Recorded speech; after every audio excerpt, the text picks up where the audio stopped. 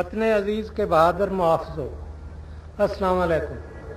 آج یوم پاکستان کے بلبلہ انگیز موقع پر مسلح افواج کی اس عظیم شان پیر سے خطاب کرتے ہوئے میں خصوصی اطمینان اور مسرت محسوس کرتا ہوں۔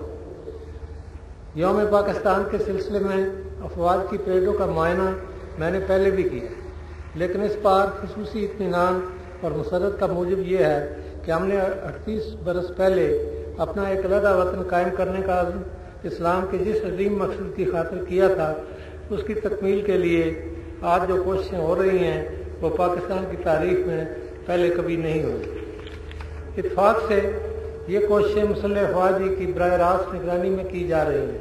مجھے یقین ہے کہ پاکستان علامہ اقبال کے خواب اور قائد اعظم کی امنگوں کے مطابق بہت جلد اسلام کا گہوارہ بن جائے گا۔ آپ جانتے ہیں کہ ہمارے ملک کو شروع ہی سے مسائل اور مشکلات کا سامنا رہا ہے۔ اندرونی خلفشات اور بیرونی جاریت کے کئی بحران ہماری زندگی میں آئے۔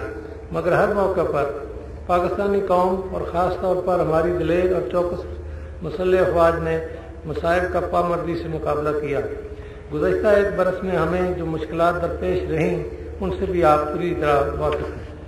مسلح افواج کے افسر اور جوان تاسین کے مسئلے ہیں کہ انہوں نے ایک بار پھر قوم کے وقار اور ملک کی سالمیت کے تحفظ کا فرض ذمہ داری سے ادا کیا اور انتہائی نازک حالات میں وطن کا نظم و نسق سنبھال کر ہمیں خانہ جنگی سے بچا لیا۔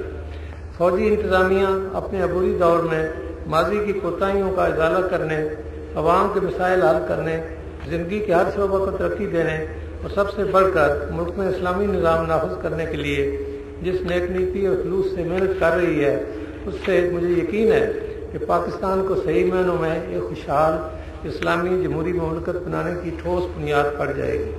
ایسی بنیاد جسے کبھی کوئی متزلزل نہ کر سکے گا۔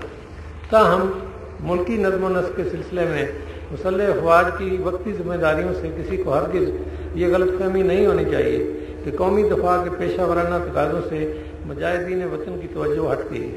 بٹ گئی ہے۔ میں پورے اعتماد کے ساتھ کہہ سکتا ہوں کہ ہماری دفاعی قوت پہلے سے بہت زیادہ مضبوط ہے اور کوئی اندرونی ہنگامہ یا بیرونی جارحیت ہماری سالمیت کو گزند نہیں پہنچا سکتی۔ ہمارے اسلحہ ساز کارخانوں میں بہتر اور زیادہ تعداد میں کئی قسم کے جدید ہتھیار تیار کیے جا رہے ہیں۔ دفاعی پیداوار کے بعض شعبوں میں ہم تیزی کے ساتھ خود کفیل ہو رہے ہیں۔ یہاں تک کہ بعض ہتھیار دوست ممالک نے ہم سے خریدنا شروع کر دی ہے محدود ملکی وسائل کے باوجود پاک فوج بحریہ اور فضائیہ کو ان کی ضرورت کا جدید ترین ساز و سامان فراہم کرنے پر بھی پوری توجہ دی جا رہی ہے۔